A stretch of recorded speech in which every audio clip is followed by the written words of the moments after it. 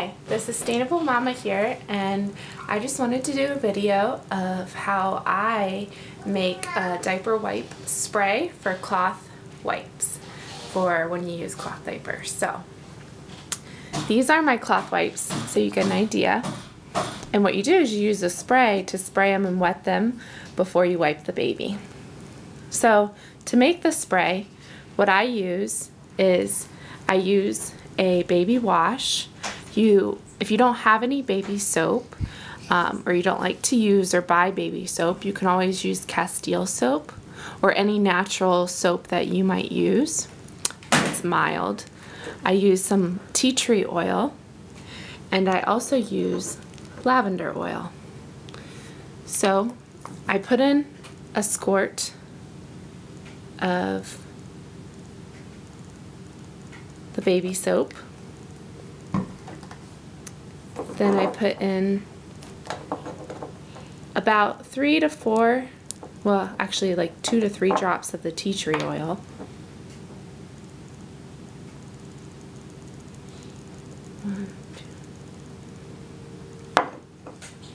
Tea tree oil can be pretty strong on the skin, so you want to make sure that you don't put too much of it in there. And then the lavender gives a great scent and it is milder on the skin. So I put like three to four drops of the lavender. Oop, I accidentally got five, but that's okay. So then we got all of the ingredients that are in there um, that we need as far as anything besides water. And then we're just gonna Pour the remaining, fill it up the rest of the way with water. I'm using purified water from our reverse osmosis, so it's less chemicals going on to my baby's skin.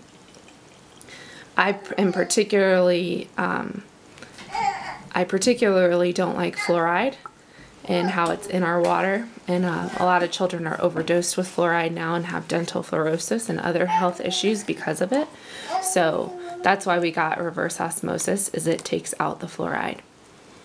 So there you go, you have your diaper wipe spray. I like to give it a few swishes to make sure I am putting moving the ingredients around in there. And this is the travel size that we take with us um, in on, in the diaper bag. We have one that's a bit larger for in the house, um, up in the baby's bedroom. So again, all you would do when you go to wipe the baby is you spray it on the cloth, that. And then it's a wet wipe made out of cloth ready to use on baby's skin. So there you have it. That's how I make our diaper wipe spray. And thank you so much for watching and have a good day.